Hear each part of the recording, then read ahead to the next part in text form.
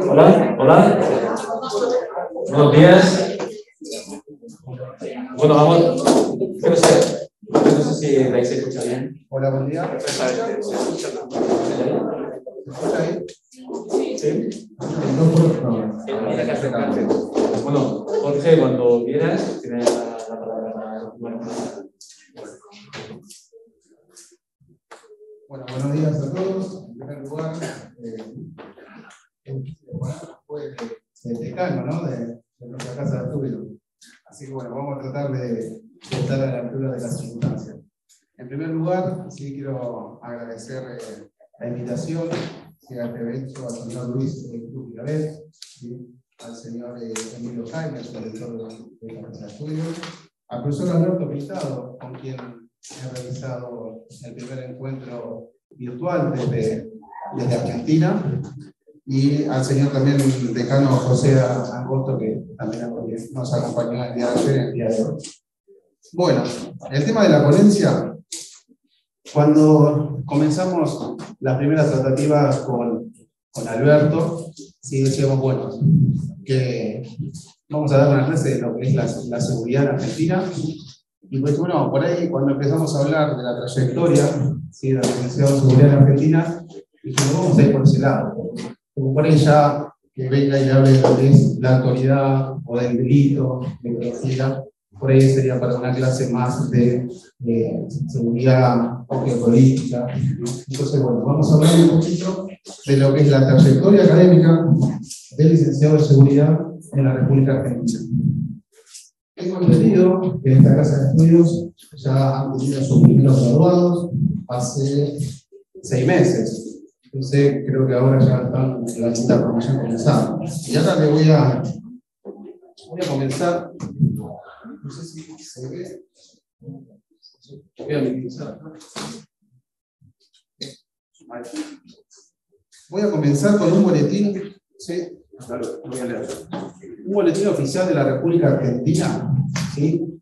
que data del 22 de febrero de 1982. ¿Qué quiero decir eso? En España, el grado de seguridad es, es, algo novedoso hasta el día de hoy, más allá que se dicten en varias casas de estudio, que no son muchas.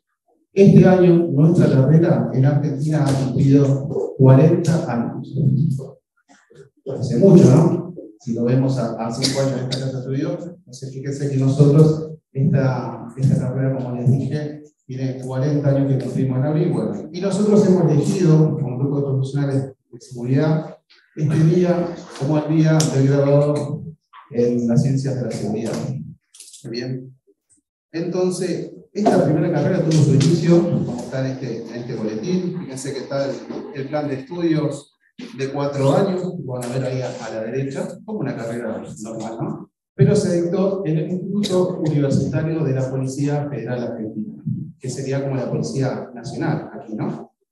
Eh, donde, bueno, han entrado este sistema de, educativo, eran de cuatro años, y la mayoría eh, de los instantes hay algunos que eran de algunas fuerzas o no. Bien. Luego vamos a ver dentro de lo que es la Universidad Católica. ¿sí? Nosotros, este año, en abril precisamente, comienza nuestra eh, decimocuarta promoción del grado de seguridad. En el cual soy tutor, por el organizacional soy tutor de la carrera. Nuestra universidad cuenta con un sistema de tutorías que cada carrera, ¿sí? por ejemplo, la, la facultad nuestra, la que el señor decano es eh, el encargado. Tiene nuestra facultad, por ejemplo, tiene el grado eh, de abogacía, el grado de seguridad, el grado de criminalística, ciencias políticas y martillero. Así que nuestro decano coordina estas cinco carreras. Cada uno tiene un tutor. Y este tutor es un graduado ¿sí? en seguridad, en este caso fui yo, eh, que hizo la diplomatura en tutorías, donde yo acompaño a los alumnos desde el ingreso, desde ese primer examen de ingreso que realizan, hasta que culminan con su trabajo de tesina. ¿Bien? Esa es la función que hoy cumplo. Y además soy docente en una de las carreras de, de grado de seguridad, como se llama acá. Nosotros hicimos la licenciatura en seguridad. Nosotros tenemos dos planes de estudio. Tenemos el plan de estudio, fíjense que es similar a veces del boletín que yo le tiene cuatro años, y este se asemeja más al de ustedes. Estoy hablando de los. Eh, hay alumnos, ¿no? Acá del grado de seguridad, Bien. Así que por ahí esta carrera, más que la criminología, criminología voy a ir por ese lado a, graduados que se hay acá de varios años, ¿no? Eh, tenemos un plan de estudios de cuatro años. Como lo que es similar al de aquí, ¿no? Pero también encontramos un ciclo de complementación curricular. Este ciclo va a tener dos años. ¿Qué significa? Que creo que he hablado aquí, que un reconocimiento. ¿Qué significa? Que cuando ahora voy a hablar más adelante de otros alumnos, que ya las condiciones de ingreso para acceder a este ciclo de complementación curricular, es decir, que los alumnos van a venir por un estudio intermedio, que en Argentina se le llama una tecnicatura superior, donde no va a tener que tener ese, ese plan de estudio, no tiene que tener menos de 2.300 horas cátedras, por ejemplo, ¿no? pero normalmente son dos años, un año y medio de cursar. Así que nosotros tenemos este ciclo de complementación y es para aquellos que vienen con esta tecnicatura. Y tenemos las dos modalidades, distancia y presencial. Cuando nos toca la época de pandemia, nosotros ya estábamos preparados porque dictábamos esta carrera. lo que es distancia dentro, ahora voy a mostrar las facultades, por eso tuvieron que ir como toda carrera, como le pasó a nuestra facultad con abogacía. Abogacía no estaba eh, con la modalidad de distancia. Entonces, cuando vino la pandemia, todos los docentes de abogacía, imagínense que son cinco años de cursada, tuvieron que realizar, cargar esos contenidos, que le habrá pasado a ustedes también, al campus, adaptar a los profesores y a los alumnos a esta modalidad. En el caso, para algunos obviamente fue mucho más provechoso, la distancia, porque uno no estaba, tenía que pagar un alquiler para quedarse en esa casa de estudio. Nosotros ya la carrera la teníamos y el 99% de los docentes son los mismos dentro de lo que es el ciclo de complementación curricular, modalidad de distancia y modalidad presencial. Bien. Te había dicho que el primer, eh, la primera casa de estudio fue el Instituto Universitario de la Universidad Federal Argentina. Y fíjense que al día de hoy tenemos más de 15 universidades que dictan este grado de seguridad.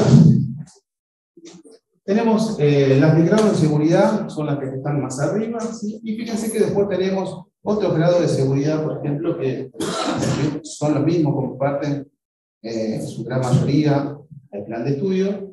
Los primeros somos los licenciados en seguridad, que está arriba, ¿no? la esa denominación. Actualmente, fíjense, abajo tenemos la licenciatura en seguridad ciudadana, está la licenciatura en seguridad pública, Está, hay otra que es, esta comienza este año, que es la Universidad de Gran Rosario, la licenciatura en Seguridad Pública y Ciudadana, que es la nomenclación que tiene este grado. Y hay una nueva, que ahora vienen los criminólogos acá, los criminólogos, hay una licenciatura en Criminología y Seguridad que dicta la Universidad del siglo XXI, que es nueva también. ¿eh? Así que fíjense las variantes que tiene nuestro grado de seguridad. Le digo, cumplimos este año 40 años, entonces no solamente este Instituto de Policía Federal estaba en la capital argentina, es decir, en Buenos Aires, en la capital nacional.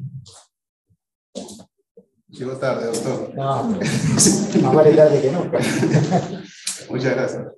Eh, entonces, imagínense que, como hoy habló el decano, la materia sería bastante amplio y cada vez ha crecido mucho más. A tal punto que imagínense que eh, en Argentina tenemos un Ministerio de Defensa que con la seguridad que ha ido revolucionando, o fue siempre una en materia de análisis, hoy tenemos nuestro, se ha dividido y tenemos un Ministerio de Defensa y otro Ministerio de Seguridad. Y pasa lo mismo con la Secretaría. Cuando hoy hablo el decano de la participación ciudadana, dentro de los municipios se han creado la Secretaría de Seguridad.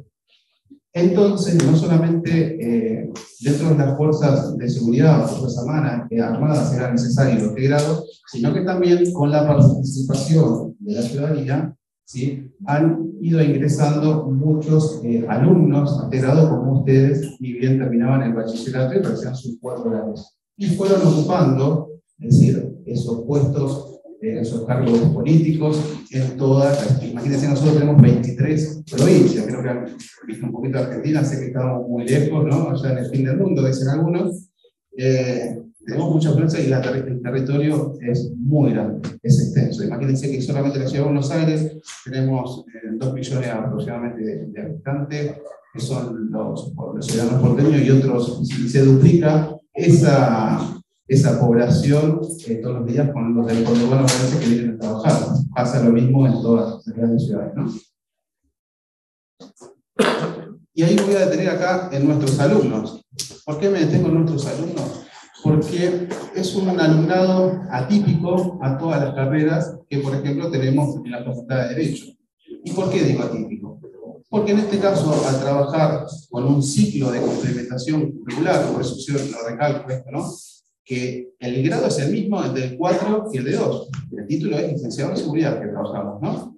Pero con este ciclo hablo de nuestros alumnos porque es eh, un público especial. ¿Y por qué especial lo digo? Porque el 99,9%, porque hay excepciones, lo voy a nombrar, son personal de una fuerza armada o una fuerza de seguridad. Entonces, los efectivos de, las policías de seguridad servicios penitenciarios, como tenemos nosotros, en el caso de la Católica, la mayoría eh, va variando cada año. Por ejemplo, hemos tenido promociones donde la mayoría eran agentes del servicio penitenciario bonaerense, eh, en otras promociones la mayoría son de la policía de la provincia de Buenos Aires, y después tenemos de otras policías también del interior que han venido. Imagínense que la policía de la provincia de Buenos Aires actualmente cuenta con una dotación de 90.000 agentes. No todos tienen realmente nuestra carrera, pero y no todos tienen este grado intermedio que es la temperatura. Los servicios penitenciarios son actualmente 25.000 y la Policía de la Ciudad Autónoma de Buenos Aires, ¿sí? son también 25.000 efectivos. Eh, entonces, ¿cuál es esta particularidad? Que los alumnos que vienen, como mínimo, como mínimo, ya han pasado por un instituto de formación policial o un instituto de formación de algunas Fuerzas Armadas, ¿sí? como lo he hecho en su momento, y he salido con la Tecnicatura Superior de Seguridad Pública. Entonces ya nuestra base es esa, no tenemos alumnos de 18 años que, que ingresen a este grado de seguridad. El plan está vigente, ¿sí? lo que pasa es que a veces necesitamos que vengan un, grupo mínimo de alumnos de 18 años y si queremos arrancar los 4 años. Bienvenido va a ser el decano, pero obviamente como pasa cualquier grado, cualquier institución, necesitamos un grupo mínimo para comenzar, ¿no? Eh, ¿Qué serían los primeros años? Después podemos seguir. Eh, existen muchos muchas personas que no pertenecen a una fuerza de seguridad, sí, muchos, porque en estas universidades que, las que yo he mencionado, que son las, luego de este Instituto de Universidades, por ejemplo, la Universidad de la Luz, existen excelentes graduados, ¿sí? o del Instituto mismo de la Universidad Federal, que han hecho los cuatro años como ustedes y que hoy están cumpliendo funciones como jefe de seguridad en organismos, por ejemplo, hemos tenido la, eh, disertación para el licenciado Luego de Banco Santander, ya, ya lo conocen, la esposa de él también es licenciada en seguridad, trabaja en el, en el JP Morgan. Eh, hemos tenido eh, también, que no es de la Fuerza de Seguridad, por ejemplo, Pablo Espinosa, que es el jefe de seguridad del Mercado Libre, ¿sí? empresas que son argentinas muy reconocidas de, de nombre, jefe de seguridad de Toyota, y puedo nombrar sí, varios profesionales de la seguridad que están cumpliendo funciones muy estratégicas en, empresas multinacionales. Bien. Y ahora bien, ahora también vamos a meter un poquito con la seguridad y el derecho. Si bien no soy abogado, pero creo que la clase que nos dejó hoy nuestro decano, eh, hay, yo hay cosas que por ahí se me venían a la cabeza y daba, así gusta ver qué opino de manera similar. Por ejemplo, fíjense, le voy a traer ahora aparejado un, voy a, mostrar un acuerdo de la Suprema Corte de la eh, provincia de Buenos Aires, que es el organismo superior. La justicia, creo que al igual hay justicias. Nosotros, por ejemplo, trabajamos con la justicia de la provincia de Buenos Aires, la justicia de la Ciudad Autónoma de Buenos Aires, la justicia federal, ¿sí? y la justicia nacional. Son cuatro justicias que tenemos que trabajar. Imagínense para aquellos que trabajamos dentro de la Ciudad Autónoma de Buenos Aires, nosotros tenemos que saber estos cuatro, cuatro códigos procesales. No quiero meterme ¿no? en la parte de la fuerza de seguridad o del trabajo donde estoy, donde yo tengo que conocer los cuatro códigos. Entonces, cada vez que uno tiene que hacer una aprehensión, ¿sí? tiene que saber si es un delito transferido o no, porque la justicia autónoma de Buenos Aires es una justicia particularmente nueva, si queremos llamarlo, que está del año 2007, si no me equivoco, no quiero hablar, ¿no? Y después, posteriormente, se creó la Policía Metropolitana, porque al ser la ciudad autónoma totalmente independiente, tenía la potestad de crear su policía y su ciudad y su justicia. Y así fue. Primero se creó la justicia y luego la policía. Entonces uno cuando tiene que realizar la prevención de una persona, tiene que saber al momento de escribir ese sumario, ver qué justicia o qué delito. Si ese delito corresponde a la ciudad autónoma, no. En el suplemento por ahí había sido transferido, sí, de la, de la nacional pasó a la ciudad, perfecto. Después se realizó distintos convenios, distintos acuerdos, donde esos delitos se iban traspasando, que eran nacionales, a la justicia de la ciudad autónoma de. Entonces ya el efectivo decía, bueno, no, este la semana pasada salió un acuerdo y este delito que antes era de nación, ahora ya es de ciudad. Y ya teníamos que cambiar todo el procedimiento y los sistemas para escribir un sumario a la ciudad autónoma. ¿no? Bueno, dentro de la provincia de Buenos Aires, ¿sí? como acá les comentaba, en el 23 de agosto del 2017, a través de una acordada 3861, este es un logro, ¿por qué lo voy a nombrar? Porque si alcanzan a leer, ¿se puede leer un poco? Sí. Bien. Eh, nos va a decir, fíjense, que los títulos de licenciado en seguridad y de licenciado en seguridad ciudadana, otorgados por la Universidad Nacional de la Luz y por el Instituto Universitario de la Policía Federal Argentina, son títulos de grado con reconocimiento oficial y de validez nacional. ¿Sí? Entre otras, bueno, y dentro de las incumbencias, fíjense que, bueno, no va a decir calificar, ejecutar, supervisar, como tiene cualquier carrera de grado, Acá nos va a decir en una parte cierta, realizar arbitrajes y peritajes relacionados a la determinación de áreas, factores de riesgo, etcétera, etcétera, ¿no? Entonces, fíjense acá, habla de, las, de la palabra peritajes. Entonces, ¿qué significa? Y vamos a pasar al siguiente. Y lo que hace, esa fue una presentación que hicieron los graduados de ese instituto y de la otra universidad, la de Lanús, que yo le había dicho. Lanús fue la segunda universidad, tengo entendida, en realizar el grado de seguridad. ¿sí? Año 2003, no me quiero equivocar. Eh, entonces, lo que, lo que hace la justicia, en este caso, incorpora la especialidad de seguridad ciudadana y habilita para su inscripción a la misma a los profesionales con el título de licenciado de, seguridad, otorgado por eh, el Youth se llama, si lo voy a resumir, no, Instituto de Argentina, y los licenciados en seguridad o licenciado en Seguridad Ciudadana, y fíjese que aclara ciclo, por eso hoy le dije ciclo, complementación particular, porque acá lo dice ciclo de licenciatura, otorgado por la Universidad de La Bien, entonces, en el proceso judicial, que no me voy a adelantar porque la licenciada Monte va a hablar de esto, ya se va a crear para aquellos los abogados eh, una nueva especialidad. Nosotros hasta ese momento conocíamos qué tipo, a los mismos ustedes que son criminólogos, ¿no? Van a ser criminólogos, las pericias criminológicas, una pericia psiquiátrica, una pericia de algún ingeniero que pueda realizar sobre un lugar, ¿no? Una pericia química, balística, etcétera, etcétera. Bueno, esos son peritos.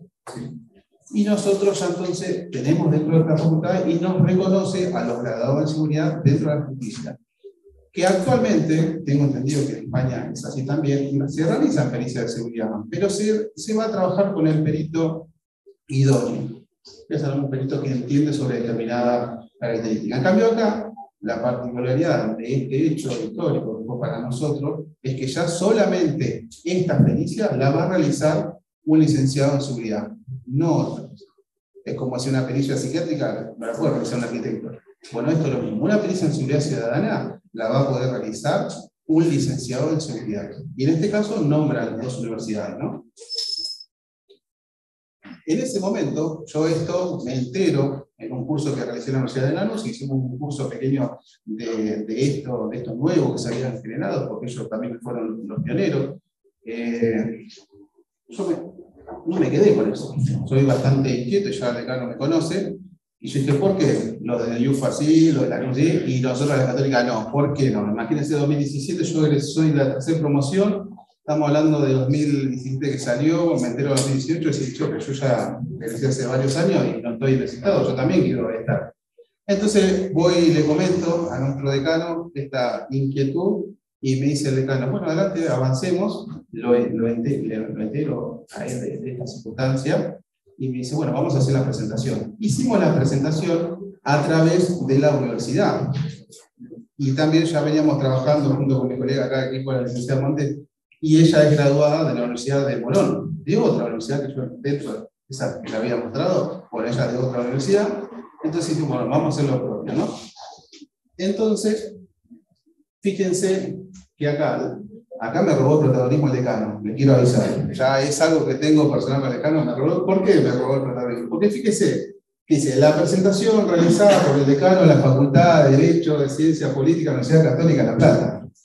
Y después dice, ¿y quién dice? Y de la profesional Muriel Macarena Montes, egresada de la Universidad de Morón. Si no hubiese estado el decano, hubiese estado yo en una resolución de la Suprema Corte y me robó el protagonismo del decano. El decano es el decano. Eso hay que tenerlo en cuenta siempre. Vieron las instituciones jerárquicas, bueno, se cumple dentro de la católica, así que. Pero bueno, obviamente con este apoyo y con este que el decano me ayudó con el escrito, obviamente, que había que presentar a un organismo de la justicia provincial, y fíjense que ahora reconoce a través de otro acuerdo, pero ya no incorpora la especialidad, sino que nos va a decir que habilita la inscripción a la especialidad en seguridad ciudadana de los profesionales con título de licenciado en seguridad otorgados por la Universidad Católica de Plata y por la Universidad de Morón. ¿Qué significa esto? Que en este caso, con nuestra presentación y con la presentación de la licenciada Montes, ¿sí? ya habilitó a todos los graduados de esas casas de estudio. Es decir, que es un procedimiento que después nos quedó con, con la nuestra, se lo iba a seguir porque, como después se empezó ya a conocer esta especialidad, eh, todos los graduados comenzaron a hacerlo. Fíjense que eran como 15 universidades. Bueno, hasta ahora creo que hicieron 4 o 5 universidades más que hicieron esto. Y ahora vamos a decir por qué se empezó ya a correr, no hicimos nosotros la remeda, a correr la bola de qué es lo que estaba sucediendo con esto, ¿no? Pero bueno, hay varias acordadas que ya sentaron al presidente, entonces nosotros ya no lo fundamentamos, simplemente que mostramos los títulos, ¿sí? Pero ya no podemos inscribir a, a este listado oficial. No nos quedamos ahí los de seguridad. Lo vuelvo a repetir. Teníamos 40 años en nuestra carrera, pero fíjense que en el año 2017 esto fue presentado. Es decir, que la justicia nos reconoce. Entonces, cuando ya sentamos este precedente, no nos quedamos. Acá fui yo partícipe que tengo la nota ya firmada, contra, eh, junto con otros colegas de, eh, de, otras universidades, y ¿qué hicimos? Lo presentamos con este precedente ante la justicia de la Ciudad Autónoma de Buenos Aires. Yo les había dicho que era una justicia independiente, ¿no? Entonces presentamos, hicimos lo mismo, y ¿qué hice? Incorporar nuevas incumbencias al registro de peritos auxiliares de la justicia de la Ciudad Autónoma de Buenos Aires.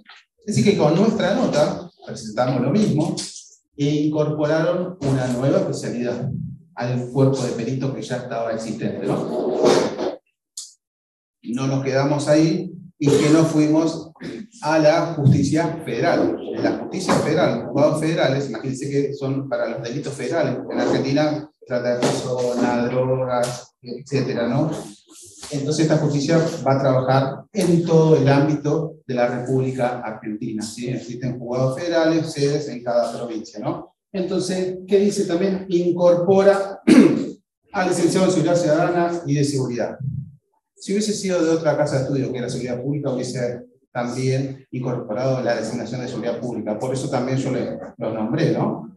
Entonces, ahora ya tenemos, y después me falta acá que no la encontré, pero también tenemos la justicia nacional. Es decir, que hoy en día esta, esta pericia está incorporada en las cuatro justicias de la ciudad de, de, ¿Lo pueden hacer en, una, en otra provincia, por ejemplo la provincia de Córdoba, la provincia de Rosario? Sí, pero bueno, los profesionales de esa provincia tendrán que hacer lo propio, ¿no? Con su título y presentarlo ante las autoridades que corresponden.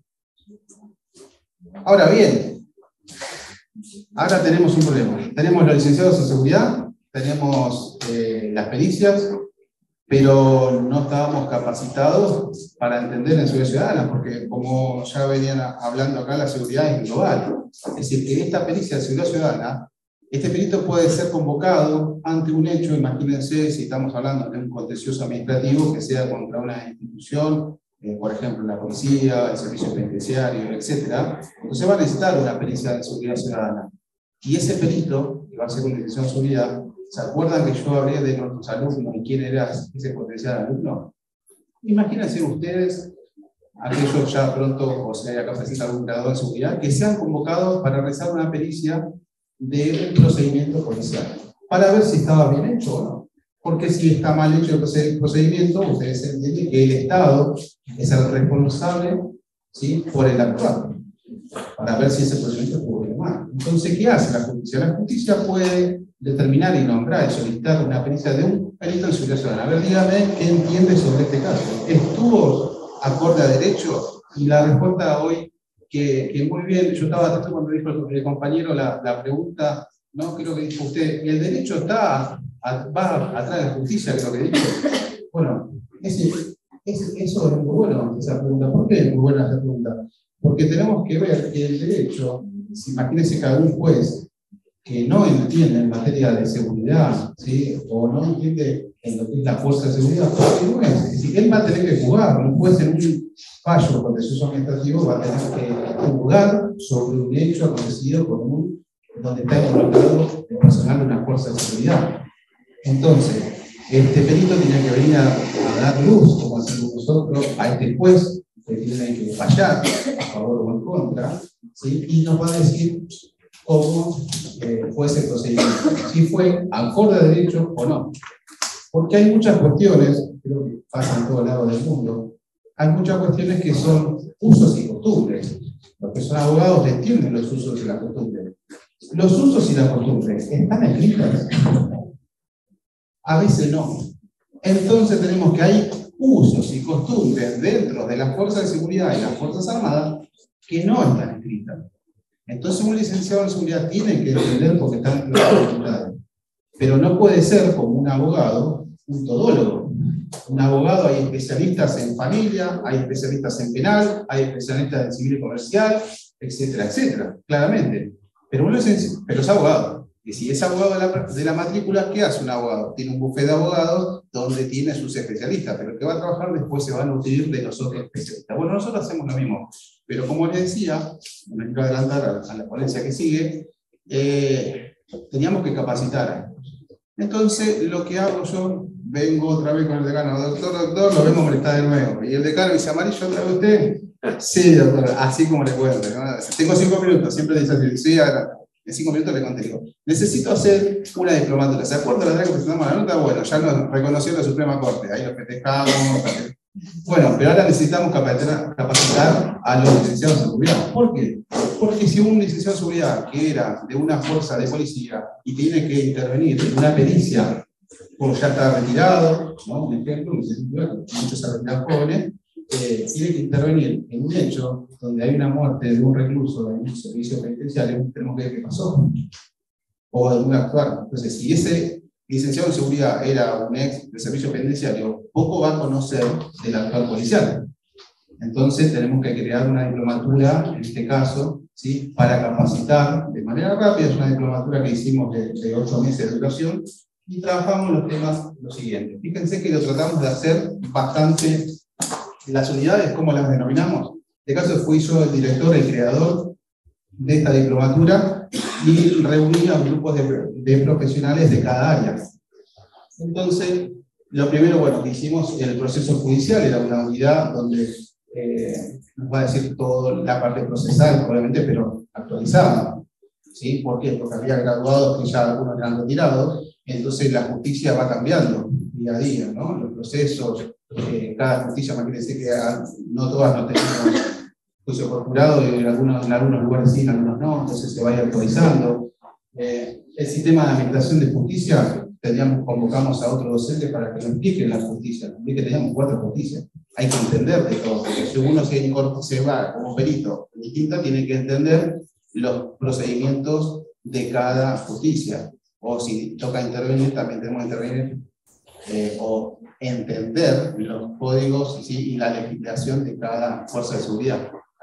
El rol pericial en el ámbito de la seguridad privada, porque también si tenemos que ir en un civil comercial, ante una justicia civil comercial, en particular en la seguridad privada, también eh, puede tener algún grado de responsabilidad ante un hecho delictivo.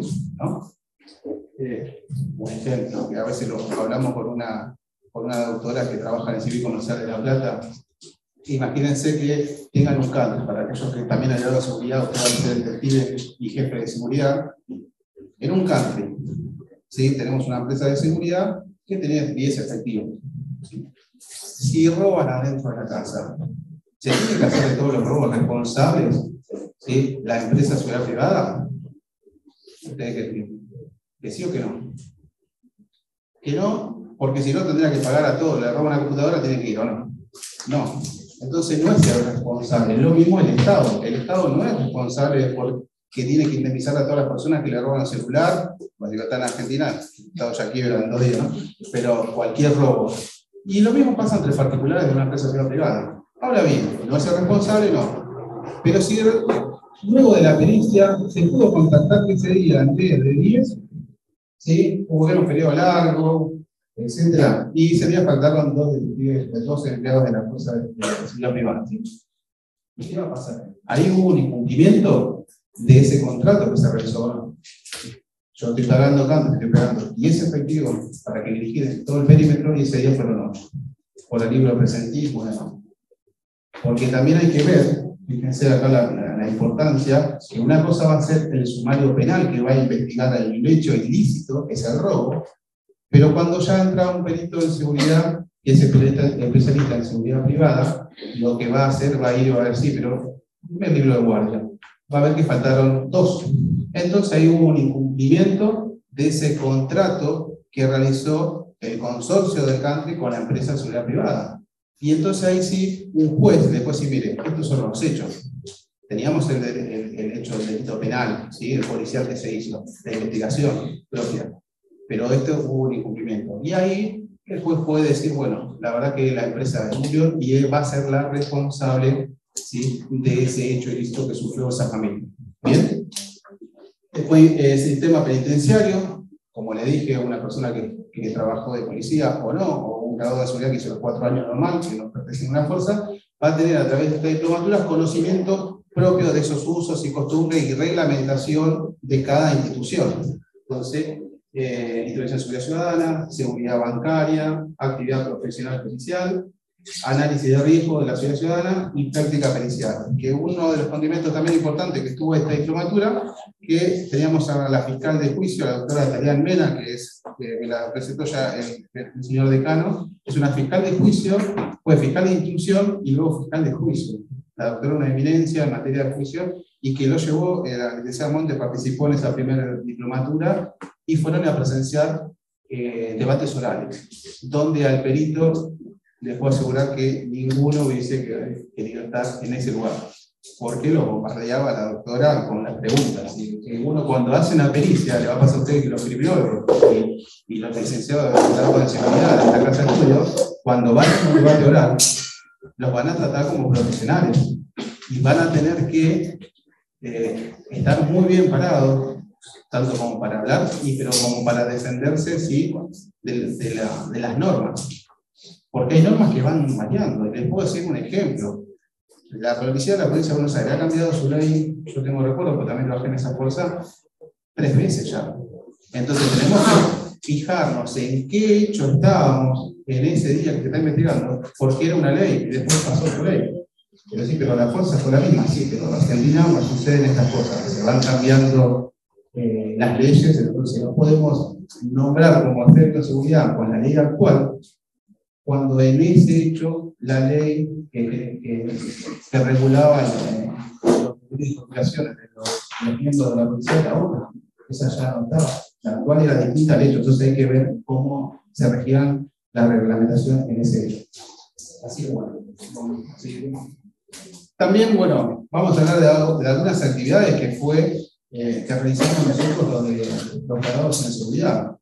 Tuvimos, eh, lo hemos hablado con Alberto, creo que yo le había contado en su momento con la experiencia que tuvimos, porque también fue una de las cuestiones, dije, ¿por qué se hacen congresos de eh, derecho penal, congresos de ciencia política y, y, de seguridad? ¿Por qué no? Entonces ya dijimos, bueno, queremos hacer un congreso. Presentamos esta inquietud y tuvimos el 22 de noviembre, antes de la pandemia, fue el primer Congreso Argentino de Seguridad Ciudadana que organizó la carrera de seguridad. Así que junto con Muriel hicimos un congreso donde fueron eh, eh, en el auditorio del Colegio de Abogados de La Plata, que es un auditorio para 120 personas, eh, y también participaron, porque tenemos convenio con el Servicio Penitenciario Bonaerense, participaron, como ven en la foto, eh, cadetes de, de, esa fuerza que participaron en la organización de, del evento, con la acreditación y demás. Ese fue el primer evento que realizó, teníamos previsto ya hacer el segundo congreso y cuando hagamos el próximo ya me imagino que esperemos contar la presencia de, Luis y de Alberto, que ya nos prometieron que van a visitar Argentina, eh, y otros eventos también. ¿Y, ¿Y qué trajo aparejado esto? Esta inquietud, que empecemos a trabajar con eh, mucho más en, en relaciones de seguridad. Entonces ya dio lugar a una diplomatura en seguridad privada ¿sí? ¿Por qué? Porque la reglamentación va cambiando, los sistemas de seguridad, como ustedes lo han visto acá en, en las escuelas, van cambiando, la, la, seguridad electrónica se va modernizando, etcétera, etcétera. Bueno, entonces se creó una diplomatura que lo que hacen estas diplomaturas son cursos de capacitación cortos, son siempre menos de un año, pero lo que nos va a ver es que se van actualizando. Las se van actualizando, no es como un plan de estudio que queda con una carrera. Entonces esto, al depender solamente de la Facultad de Derecho, se van actualizando. Y no nos quedamos solamente con lo que es actividades de, de licenciado en seguridad, sino que este año fuimos un poco más allá y creamos una diplomatura en Derecho de Seguridad.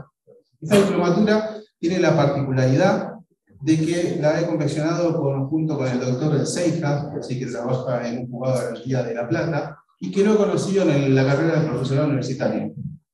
También está buena la carrera de profesor universitario que hicimos, es una, es una capacitación que realizan todos los profesionales, que lo pinta cualquier que. Alicia Monte ha estudiado esta carrera en la Universidad Abierta Interamericana, ¿no? en la UAI. Nosotros dentro de la Católica tenemos esto y ahí encontramos muchos docentes.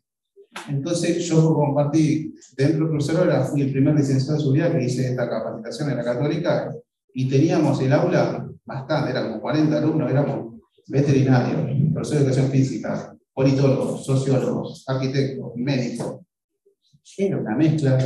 Entonces imagínense que nos sirvió todo porque entendíamos la problemática de cada, de cada profesional y no entendíamos las cosas que nosotros teníamos que enterar, nos enterábamos ahí. Así que sirvió esto y los docentes la pasaban muy bien y teníamos práctica y demás. Bueno, bueno, con el doctor Seijas eh, entablamos una buena amistad y dijimos, vamos a hacer algo distinto que no sea una diplomatura sola, porque siempre estaban como, como castas a veces, ¿no? Como sectores, y bueno, vamos, el derecho, como dijo hoy el decano, el derecho y la seguridad están relacionados, ¿por qué no trabajar en conjunto? Entonces fue esa propuesta que le llevamos al decano, y el decano me dijo, otra, amarillo, doctor, acá estamos, le digo, y ahí nació eh, la diplomatura de Derecho de Seguridad, que va a ir variando todos los años, este año se llama el Delito, Política de Seguridad y Legítima Defensa. Es decir, que los abogados se van a nutrir de los conocimientos de seguridad y los licenciados en seguridad se van a nutrir de los conocimientos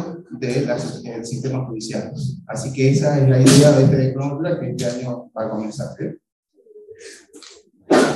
Estudio de posgrados, los nombro acá un poquito, porque tenemos una problemática que es parecida acá que no tenemos en la República Argentina, más allá que, como les vuelvo a repetir, tenemos 40 años de antigüedad, no tenemos muchos posgrados ¿sí? en materia de seguridad. Y ahí voy a traer una anécdota, perdóname, doctor, que lo moleste, pero le dije, doctor, ¿por qué no tenemos másteres? ¿Por qué no tenemos doctorado? Y el doctor me dijo, que Luis también, eh, porque nadie lo ha presentado. Y ahí me dije, me, me quedé pensando, y, ¿cómo? y no, porque no teníamos para hacer un posgrado de seguridad, y ahora viene, donde ustedes van a tener esta responsabilidad de empezar a crear posgrado de seguridad, porque ustedes van a ser los responsables.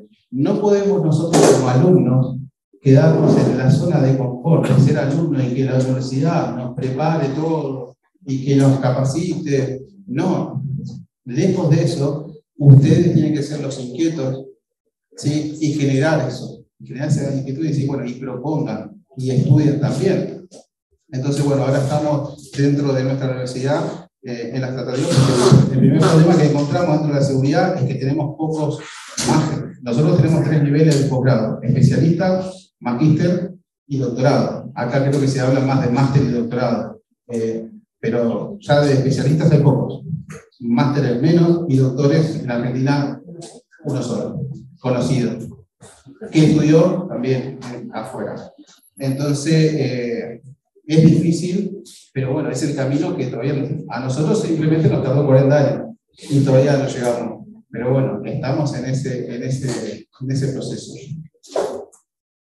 Voy a traer algo ya un poquito que por ahí estos, lo van a conocer, estos logos, es de ustedes, pero este es el boletín oficial del Estado acá español. Les comento, para aquellos que por ahí no sabían, ¿sí? que hay un acuerdo, en este caso fue publicado el 18 de enero de 2019, eh, un acuerdo de reconocimiento mutuo de títulos de diplomas, grados académicos de educación superior universitaria entre el Reino de España y la República Argentina. ¿Qué significa? Antes nosotros para homologar una carrera, aquellos argentinos que querían ir a, España a trabajar, ¿sí? y aquellos españoles que quieren a Argentina, lo dudo, pero bueno, si quieren a Argentina, bienvenido sea, eh, asado no le va a faltar, vino tampoco, pero, pero sí hay empresas, como yo cuando le, contesto a Alberto, Alberto me dijo, no, pero hay empresas multinacionales que tienen sucursales en Argentina. Entonces, un título ¿sí? que los habilite como grado de seguridad, ustedes van a poder ejercer el cargo de director de seguridad también en la República Argentina. Antes de este acuerdo, cada graduado tenía que hacer, si no había un listado, el listado era muy específico, eran 12 carreras, entonces las carreras nuevas, entre ellas seguridad, teníamos que realizar un protocolo para homologar ese título. ¿sí? Que yo justo lo estaba para hacer, también quiero digo, voy a ir hasta allá. Eh, y resulta que sale este acuerdo. Entonces con este acuerdo, fíjense que ya homologa y lo que dice que tiene que estar reconocido simplemente por las autoridades de, educativas nacionales de cada país. ¿Sí? En este caso ustedes posgrado tienen la ANECA, tengo entendido, y nosotros en Argentina la CONEA. Entonces, fíjense cómo estos niveles ya no hay que hacer un protocolo. Después hay que ver, obviamente, por las incumbencias, si hay que hacer alguna capacitación extra a través de la universidad, que bueno, ya las autoridades están en esta tratativa. Y por el lado de Argentina, se hizo una ley que fue la ley 27478 que pasó por el Congreso Nacional, donde esté de acuerdo, ya firmado entre ambos países, si ya es ley nacional. Así que ustedes cuando vayan a Argentina y quieran homologar un título, van con este acuerdo y después el trámite es mucho más específico. También para realizar un posgrado.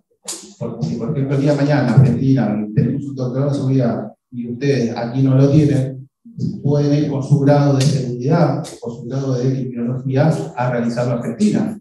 Porque acuérdense que para realizar un doctorado a veces tienen que tener un título de máster. No, hay, no se puede a veces saltar escalones de, un título de grado a un doctorado. Normalmente en Argentina se pide que tengan especialización, la maestría y el doctorado. Nosotros con la Universidad de Monte aprovechamos la pandemia y en los dos años de pandemia metimos una maestría en inteligencia estratégica nacional que estamos viviendo ahora la tesis volvemos a Argentina, ya empezamos a trabajar eh, para poder tener nuestra maestría. Y pronto ya estamos en busca de un doctorado. Pero lo vamos a hablar otro día conmigo. No existe en Argentina un doctorado de seguridad. Por lo tanto, vamos a tener que o hacer algún doctorado, o ir a alguna. Eh, me ha dado una, una idea al de hacer un doctorado de derecho penal con algunas salvedades, ver si nos permiten un ingreso.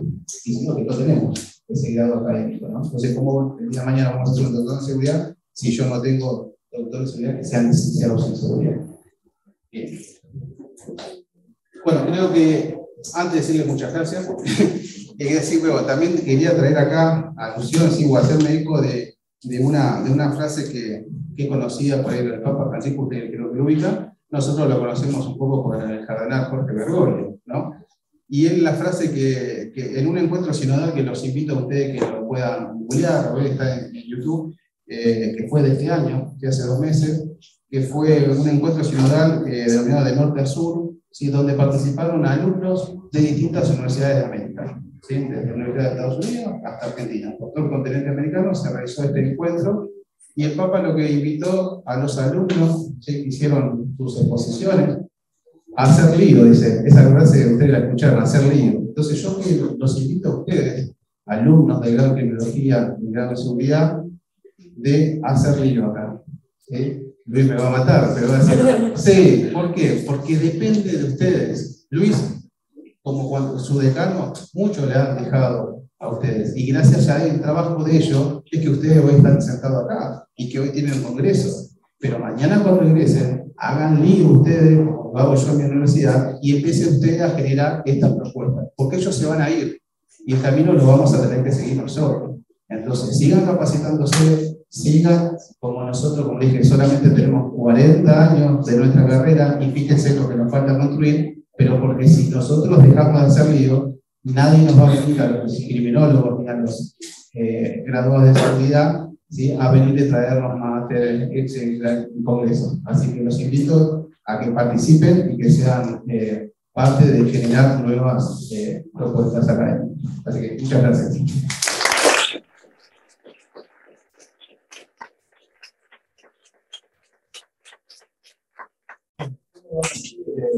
Eh, las preguntas que tengan.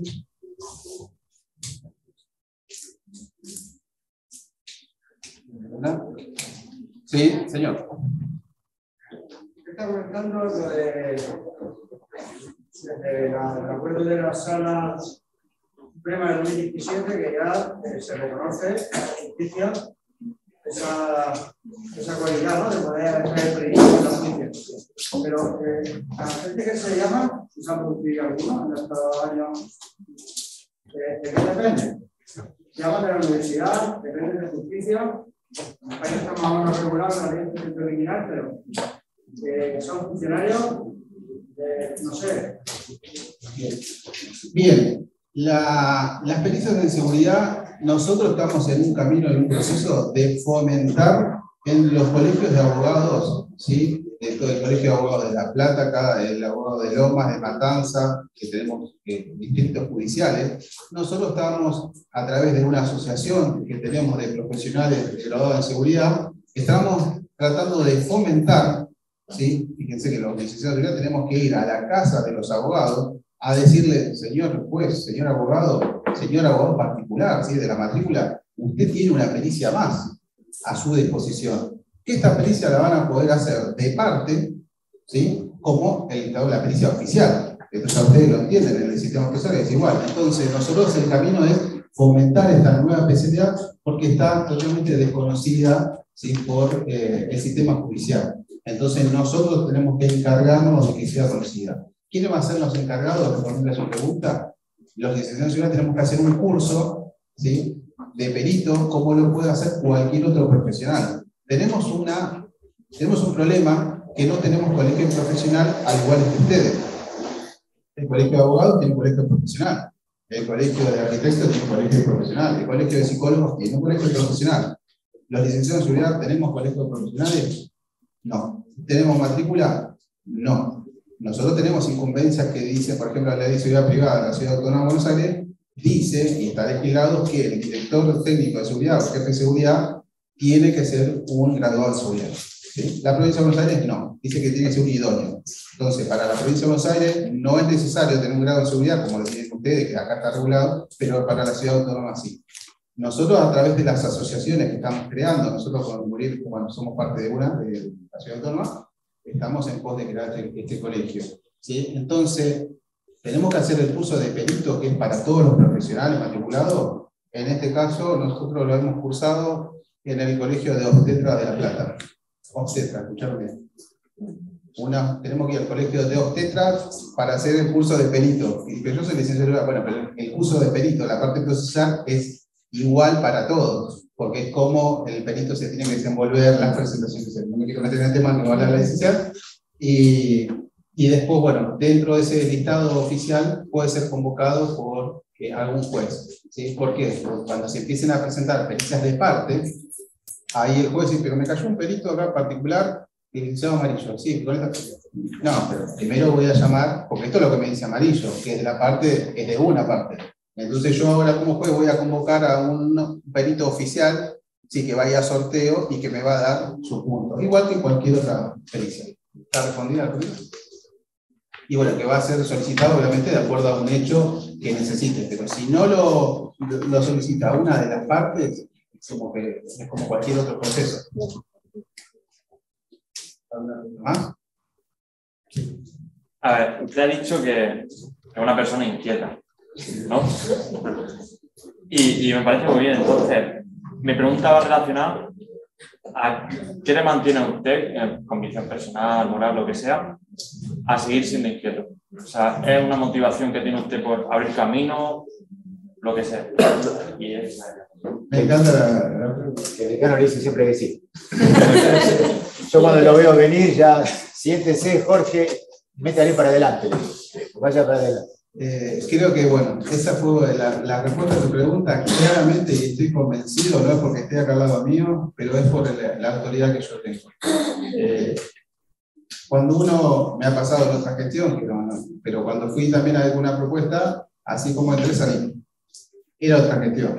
No me quedé con eso, sino que cuando cambió la gestión y apareció otro doctor, hice lo mismo. Hice el camino y ahí directamente me fui con una solución o por lo menos con una aceptación a esa propuesta.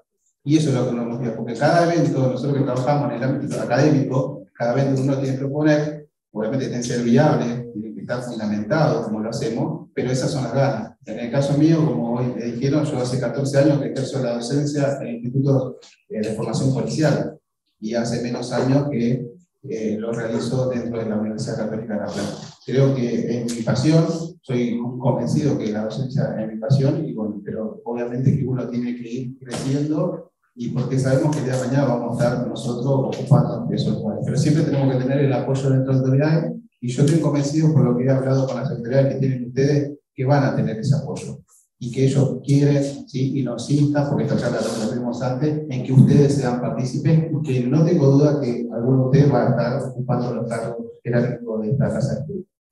En relación a lo que decía el, el licenciado Amarillo, y lo van a descubrir con, con Muriel también, eh, siempre es muy bueno tener docentes con inquietud. Cuando uno es decano, eh, interactúa con todo tipo de docentes.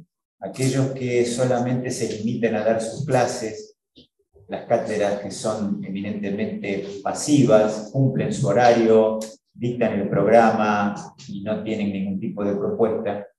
Y los otros docentes, como aquí los que me acompañan, y otros que presentan ideas, eh, propuestas académicas, eh, mejoras de programas, y realmente para cualquier decano o decana eso es importantísimo, porque eh, el tener docentes con inquietudes a uno como autoridad lo motiva y le obliga a abrirle las puertas. Y eso implica también ir perfeccionando paulatinamente la currícula y el plantel docente también. Es imposible que en cualquier facultad todas las cátedras y todos los docentes sean proactivos, es muy difícil. Como a ustedes les pasará que quizás hay algún profesor o profesora eh, más accesible o más entretenidas en sus clases. Es así, es muy difícil eh, que todos sean entretenidos y todos también sean proactivos. Pero créanme que cuando ustedes se encuentran con docentes como el caso de Muriel o el caso de Jorge y muchísimos más, realmente para cualquier decano o decana es importantísimo, porque les abren puertas, presentan inquietudes y uno tiene la obligación de escucharlos y en la medida que sea viable, bueno, adelante. ¿Sí? Por eso el día de mañana, como bien dice el licenciado Amarillo, el día de mañana ustedes van a estar en esta, en esta situación, como estuvimos allí adelante antes, y van a tener la oportunidad de capitalizar toda esta experiencia. Y como él dice, hagan lío. Eso quiere decir ser proactivo, proponer, no solamente quedarse con lo que uno aprende, cumplir el horario y si apruebo con el mínimo es suficiente. Porque si ustedes aprueban con el mínimo, el día de mañana que sean docentes van a aprobar con el mínimo también, van a aportar lo mismo y luego se van a ir a su casa. Y lo bueno es enriquecer, enriquecer la cátedra, enriquecer la facultad y enriquecerse ustedes también con propuestas, salir de la media. No quiero monopolizar, simplemente complemento lo que dijo el licenciado, que es un ejemplo de docente proactivo.